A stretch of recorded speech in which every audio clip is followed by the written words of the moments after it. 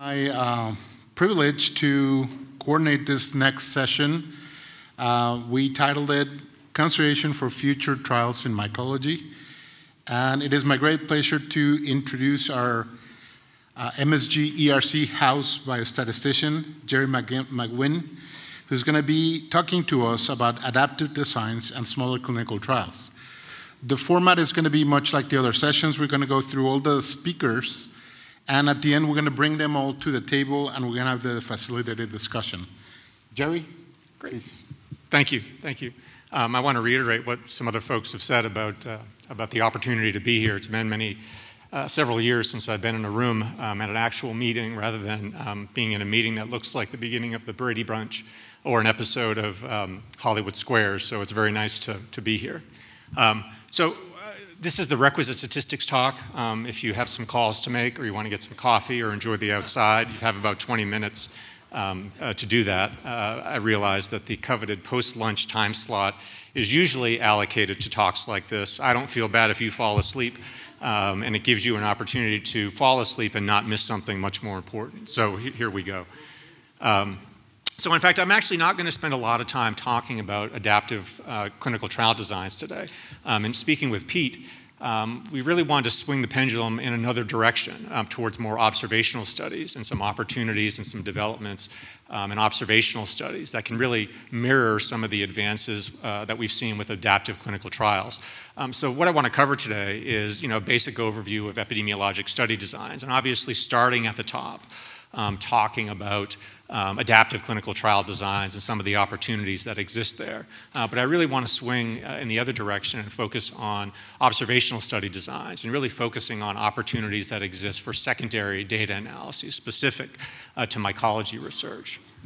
So this is familiar to anybody who's ever taken an introductory epidemiology course or um, ever spoken to an epidemiologist. There's a hierarchy of study designs. We're all familiar with this. Um, at the top is, is, clinical, randomized clinical trials.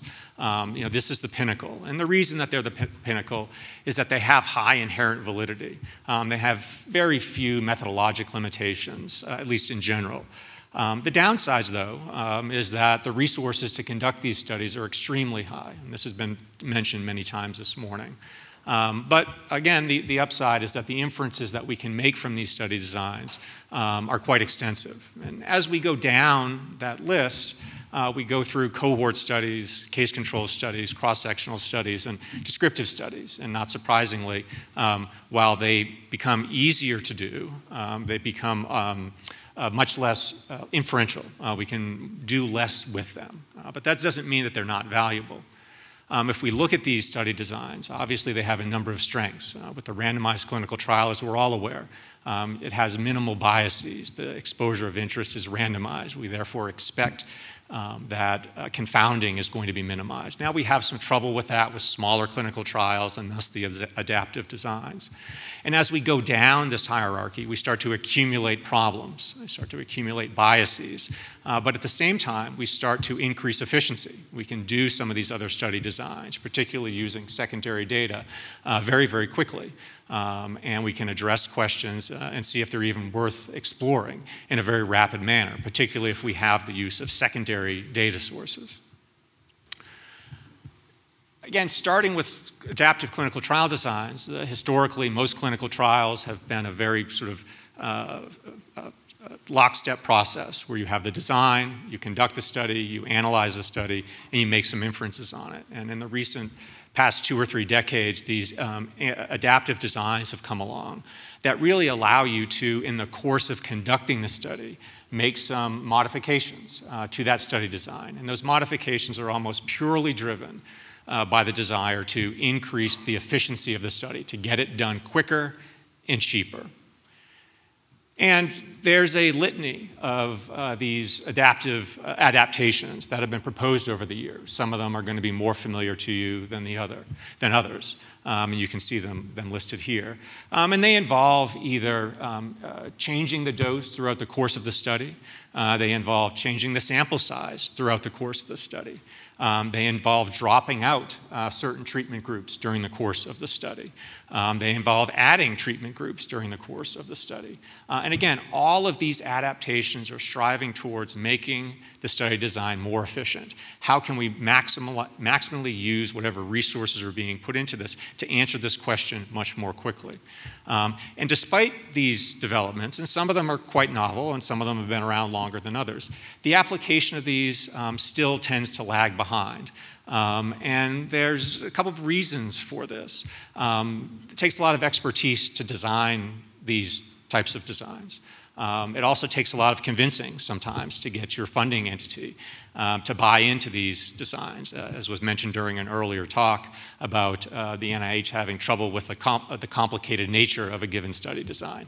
Some of these adaptive designs are extremely complicated, uh, but many of them, again, from a statistical perspective, are very efficient. Um, they reduce the sample size, they can reduce the turnaround time, um, and they allow you to, in some cases, transition from a phase two into a phase three study, carrying forward that information with you. I did a quick um, search in PubMed uh, last week for um, papers that have been published since 1990 by study design. Um, and what this graph shows here is that over time, uh, clinical trials in mycology have remained fairly constant. The number of publications per year uh, has remained fairly constant over time. Uh, but one of the dramatic things that you see there, that orange line, or at least it appears orange to me, um, is the dramatic increase in observational studies, particularly cohort studies. Um, the other increase that you see in cross sectional studies is somewhat dra- uh, drowned out by that increase in cohort studies. Um, so, so, again, we, despite the fact that we see this great value in clinical trials, and we have these adaptations, there is clearly a trend towards more observational studies. And unfortunately, unlike adaptive designs in clinical trials, there haven't been a lot of enhancements in epidemiologic study designs for probably at least as long as I've been around. Uh, perhaps the one that's going to be most familiar to you is the use of propensity scores. Um, and that's really the only meaningful development in observational study design, um, again, in the past two or three decades or so. However, um, what has emerged uh, in the field of epidemiology and observational study designs generally is the use of electronic data sources.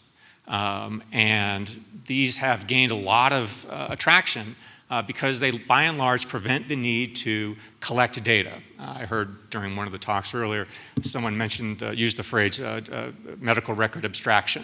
Uh, typically, this, this, makes me get apoplectic when I hear this. Um, because now we can use these electronic data sources to remove that need to actually manually abstract data from sources. And we're going to talk about this in a minute.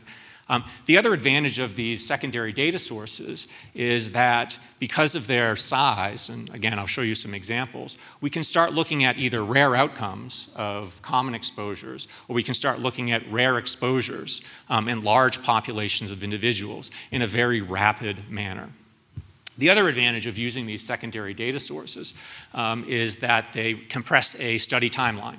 Uh, Pete Pappas can send me an email um, about a question like he will often do, and subject to the availability of the data, um, I can answer it for him in a population of millions of people in the course of an afternoon.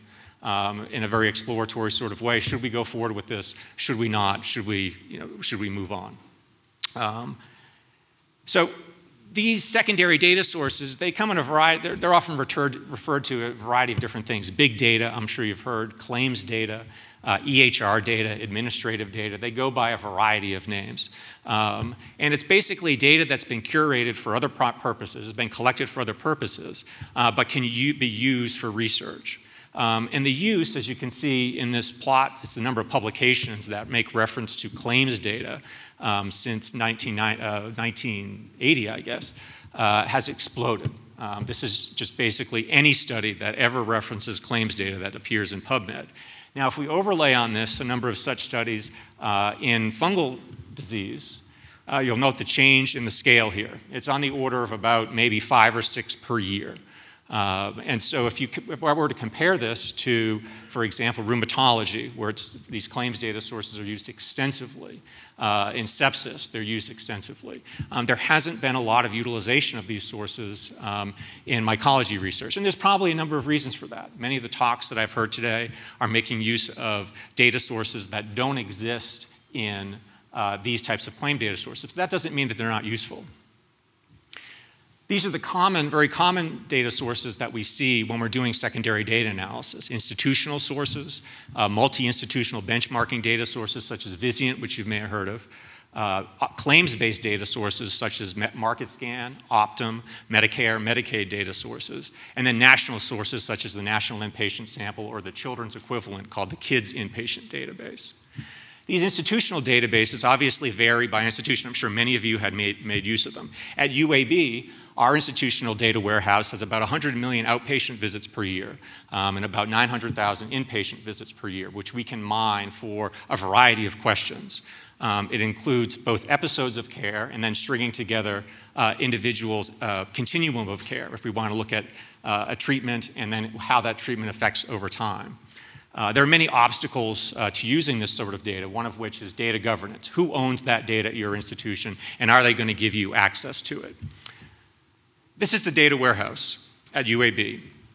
So when Pete Pappas enter, enters a note into our electronic medical system, this is where it goes. Somebody foolishly gave me the keys to this kingdom several years ago, and I've never looked back from it. Um, this represents all the information that we collect pharmacy, labs, radiology, free text notes, uh, medical claims, Medicare claims, et cetera, all the data that comes in and out of our system. And we can use this data for a variety of different things. For, so, for example, one of the things that Pete came to me about is this UAB Cryptococcus study. Um, I didn't tell you I was going to use this, Pete. Um, and so these are the data collection forms that Pete emailed to me. They were, they're scannable forms. You can tell that they're scannable forms. And my understanding is somebody sits behind a desk, looks at the electronic medical record and takes the data from here and puts it into all of these pieces of paperwork. The pieces of paperwork then get manually entered into a database. This makes me exceedingly crazy that Pete actually has people that do this. So, what we did about a year ago was we took all of those forms and we mapped where each of those data points live in the EDW. We then built, wrote a program that then sucks all of the data from the EDW into now an electronic version of this database. So now we don't have to do any of this manual data collection. Now we port this data directly over to the database and it's live. The data flows into this database in a real time basis. So now everything that Pete was looking at, now we can look at on a real time basis. And publications such as this, which may take some time to do, now we can do much more efficiently. The downside of this is that we're still limited to these data elements that we mapped for Pete. What if a new question comes along? Um, and so, what, when a new question comes along, for example, if we want to look at COVID, the impact of fungal disease on COVID, COVID wasn't part of Pete's forms, uh, was never intended to collect data on that. However, because this system exists, I can immediately modify this code to start flowing all those new patients into his database. And now we can start looking at the impact of COVID not only on the patients that were originally in his database, now we can start comparing it to other types of fungal disease without having to manually abstract data. Now, the downside of this is a single institution. You can see some of the numbers there are quite small. And this is where we can tra transition onto multi center studies uh, and take advantage of these institutional and benchmarking data sources uh, one of which is uh, Vizient. Uh, Vizient is a benchmarking data source. Probably all of your academic institutions pay to have their data sent to Vizient. And it amounts to about 500 institutions and about 2.1 million inpatients annually. So now we can go back and say, well, you know, Pete, there's not a lot of data here to look at with respect to UAB's COVID and fungal experience. What happens if we now look at Vizient? Well, now we can do the same comparison with a much larger population, accumulating patients across 500 institutions. And we can not only do it with, again, that original patient population, now we can do it for a variety of different types of fungal disease. And I've just cho chosen some here, for example. And so now you can see the denominators there are much more stable. And now we can start doing some much more interesting things without having to have anybody put pencil to paper. We can now start ratcheting things up with these claims-based data sets. You know, previously I told you Vizient had about 2.1 million encounters annually. Vizient has about 1.5 billion diagnoses annually on about 200 million people. And so now our denominator isn't episodes of care, it's people. Now we can start calculating population-based rates of whatever we're interested in. Um, as the data size and the scope of the data increases, so does the cost, so does the resources. These data sets here are terabytes in size, uh, take a long time to run, and you have to have a lot of expertise to do it. Nonetheless, the power of them uh, can be shown here. So this is a paper that some folks here in this room published recently that I use as an example. We can see the numbers of individuals, patients in each of those treatment groups. I went to into and looked for the same treatments for that same patient population. So with about uh, 30 minutes worth of work, I was able to increase the sample sizes that they had had in this original paper uh, by an order of magnitude, with the same outcomes by and large that was looked at in this paper, uh, with very, you know, very minimal effort to do so. Does Vizient, does MarketScan have all the data elements that this paper had? No, but it allows you to address some, uh, some questions with a very large sample size in a very rapid manner. The last one I'll talk about, because I'm almost out of time, are these national data sources. Uh, so these national data sources, the example um, is the National Inpatient Sample. The National Inpatient Sample has about 36 million uh, episodes of care annually that's analyzable. Um, this is an example of a recent paper that actually used the National Inpatient Sample to look at the burden of fungal infections. And you can see here the numbers of patients that they were able to look at uh, with some very broad outcomes. So, this is the trade off. Um, you get a large sample size, but your outcomes tend to be broad. Your measurements tend to be focused on uh, much more blunt outcomes as opposed to some of the laboratory based measures that uh, we've been talking about earlier today. But again, it, it provides an opportunity for some quick analyses um, and for some of these data sets, some very detailed analyses. So, again, a summary um, of the you know, sources that I've talked about here. Um, they, they cross from both episodes of care to population based data sets. Some of them are free, some of them are very expensive. Uh, some of them take a lot of resources to use, some of them are quite easy to use. Uh, but nonetheless, they represent an opportunity to augment, supplement uh, these clinical trials that we're often doing that take a long time and cost a lot of money to address some ancillary questions in a very rapid manner. Uh, so, in summary, while we can use adaptive techniques to supplement what we know about clinical trials and to get them done more quickly, they're always going to be costly and they're always going to be time consuming. Uh, in parallel, we can be doing similar research with these secondary data analyses, uh, addressing a wider range of research questions in a very rapid manner. Um, and I threw this last point in here, uh, and I'll either get in trouble for it or I won't. Um, I have access to all these data sets. Um, I either buy them or I have access to them for other resources. Uh, this may be an opportunity for the, uh, the Study Group to develop some infrastructure um, to actually do some of these analyses using these data sources um, so that I'll, this wheel doesn't have to be recreated at each of your own institutions. Um, I'll just throw that out there. Um, I'll, you know, I'll leave it to Pete to, to carry that ball further down the field. Um, and again, I thank you for your time.